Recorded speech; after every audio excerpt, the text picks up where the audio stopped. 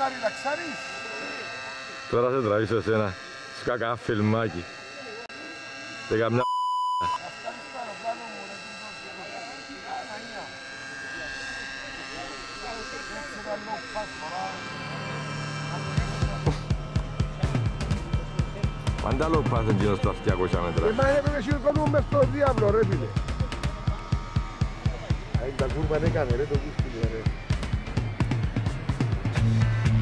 Έλα κύριε Χάστο, κάνε μια δήλωση. Ε, Λοιπόν, αυτή τη στιγμή έχουμε την τιμή να φιλοξενούμε τον κύριο Γιον Μάρκος Βαρόνος, ο οποίος πετάει ένα πολύ δύσκολο αεροπλάνο, δυσκολεύεται, ε, αλλά επειδή ξέρουμε την αξία του και τις ικανότητες του,